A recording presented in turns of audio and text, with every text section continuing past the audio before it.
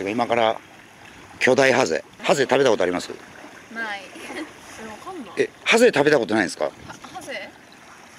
ハゼはなんなんかあるような感じが。はハゼって知らないです？えなんか赤いなんかこんないやいやはそれはカサゴじゃないかな。それはハゼ。カサゴ。あのはハゼっていう魚がこんぐらいのこ食べれるんですけどまあ汚いんで逃がしましょう。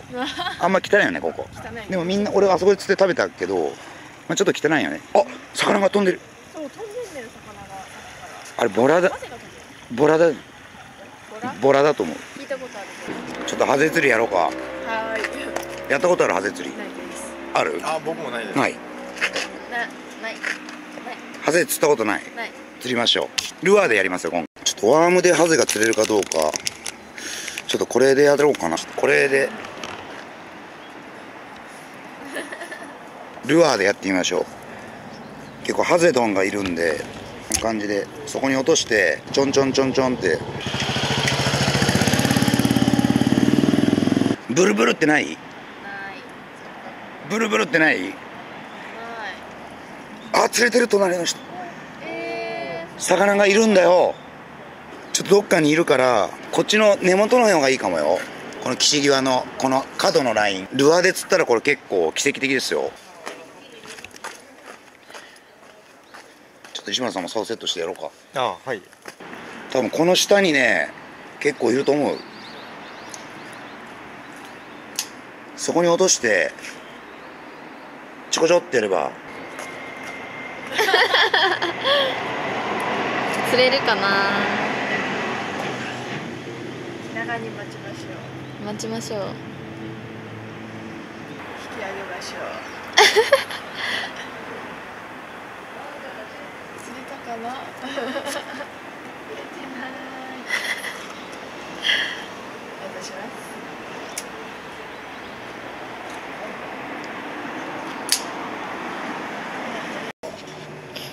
え全然ないですか？うん。厳しいやっぱりその偽物の餌で何でしたっけ？ハゼでしたっけ？う釣ろうとしてるのが無理がんいやルアーでも釣れるの。いけるんですか？ハゼのクランクベイトっていうのがあるくらい。だからクランキーワームでワーミング。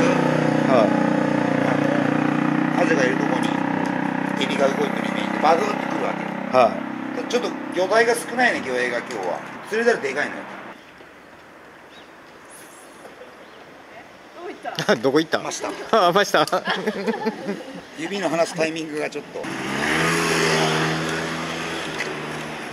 ちょっとハゼ釣って。結構今日渋いみたい。あんまり釣れないんだって。えーいつも釣れるのかな？分かんないけどあんまり釣れてないみたい。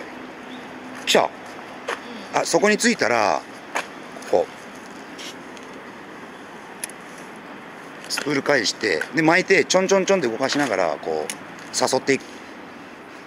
うんそうそうその辺持って。で巻きながら左手をこうビシンとあのなんかブーって。あそんな感じそんな感じで。釣れないねちょっと釣らんとね結構目で見てあの目で見て魚見つけてそこに送り込むのがいいかも。あおるなんかおるよ。そこおるよ。その辺。今なんかよく見たらあそれもうちょい向こうかな。鼻ある？あ本当や。ボラかなこれ。うん。これは多分釣りづらいと思う。魚影が少ないみたい。少ない。でもさっき結構大群があれはね、うん。ボラの子供だと思う。うちょっとハゼは餌でやってもん、うん、かなりパラパラっとしか釣れないっていうか。えこれぐらい触れるやろこれは触れない。本当に？これちょっとのっけてあげんと。茎？なんだちゃんとのちゃんとのきましたっていうことで。ちょっとちょっと待って。えちょっとカメラマン手手元って手元？ああ取る取る取るななんか動いたよここが。あ閉めて閉めて。厳しいねでもらおうか。ちょっと500円で1匹。ちょちょっと待ってこれこれなんか変になって変になっ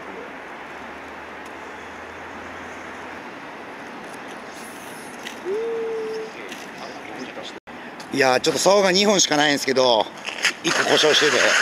ちょっと反応ないですね交互にやってるんですけど。なんかちょっと飛びがあんまりよく飛びいやーちょっと絡んでる？どうですか？どうですか？釣り楽しいあただちょっと今日渋いみたいで周りの人も全然釣れてないんだって。普段は入れ食いらしい。釣りたいね1匹。どうですか？反応ありません。反応ない？反応ありません。ちょっといろんな動かし方で誘ってみて。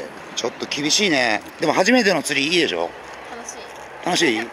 釣れたらさらにうんいいけどね。結構でもキャストは上手くなったでしょ？あのコツみたいな。あの逃げ惑うエビをイメージしてエビがピュピュッピュピュって逃げてる。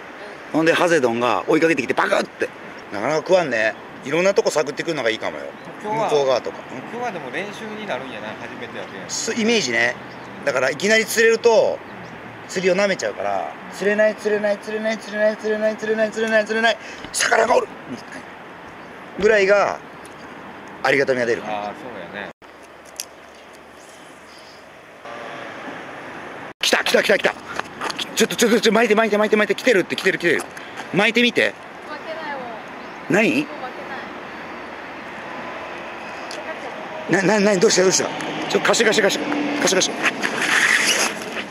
来た来た来た来た。ジバナさん。はい。釣りも大変だね。ただこれでキャサリンもアンナもう成長してますよ、んもうだいぶ投げ方も全部分かってきたからね。はかなりレベルアップしたと思う。これで今回は練習のはい。ハゼ釣りだからもう坊主逆に坊主ぐらいがいいよ。い、がいいんですかね、そう。それ簡単に釣らしちゃう実力で釣ってもらわないと。そうそうですよ。だってブラックバス釣り始めて3年間坊主って人もいるから。えそんな人もいるんですか？いるいる。だからいつも石村さんすぐ釣ったでしょ？はい。それは今釣れてるポイントを探して釣りやすいところに行って投げたから簡単に釣れた。だけど関東とかでやってる人は3年間釣れない。毎週通って。坊主坊主坊主坊主坊主でようやくの1匹だから価値が全く違うわけ。確かにね、僕も簡単な池ばっかりでうん、うん釣りやすい池ばっかり行ってました最初。でしょ、ああれはもう四国のはい。あのプレッシャーが弱くて誰が行っても結構イージーなの琵琶湖行ってう僕ちょっと衝撃受けましたね。こんなに釣れないのかって。んいや琵琶湖はね、はい。石村さんの体がこうやってあるでしょ。はい。ここの辺だともう入れ食いなの。あこのちうん。だ。だけどこの辺で釣れないとこばっかりでどこがポイントなのか探す仕事だから。ポポイントはここ。そこかもしれないやめてしまう。だからそのポイント行けば簡単なの。今釣れてるとこにアプローチ。だからポイント探しの勝負っていうか。どあ広いですからね。そうしかもそのポイントが時と場合によって移動していくの。そこを探す勝負。やれる。どうした根がかり。あ根がかり。逆にこっち行こうか。ちょちょちょちょってやったら取ってみて。もっともっと左。一回スプール出して糸出してスポール出してカパって。でこっちに歩いてきたらいいよ。取れない。でかかった。地球だよ。球。これキャサリン地球釣ったってことはもうキャサリンのものになったね地球。地球釣ったって言うんですよ。地球？要するに針が地球に光ったから地球の権利は自分のものになったっていう。そういう釣り業界でね。地球を釣るために。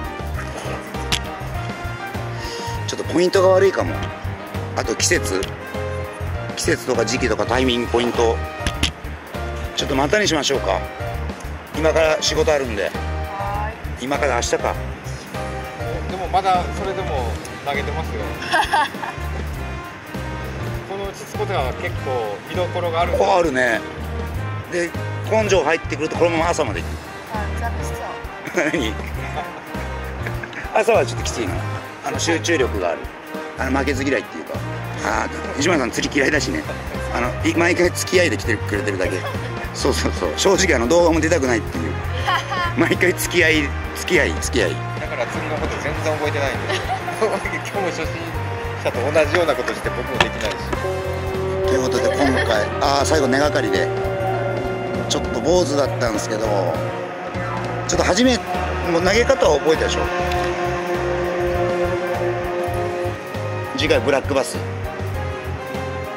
徹夜兆候でお願いします朝3時に起きて現場に5時着6時に船乗って夕方5時までぎっちり家帰ってきたら夜の9時っていう拘束時間16時間ぐらいのガチガチ情報でお願いします。お願いします。また皆さん本当はこれが釣りたかったの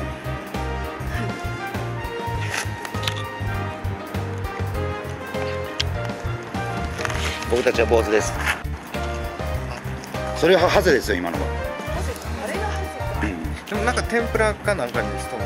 お美味しいよ、ね見るよね。触れます？5回。あれ。え毒じゃないよ。食べたらね鶏肉みたいな味をあそうなの？食べ毒ないってよ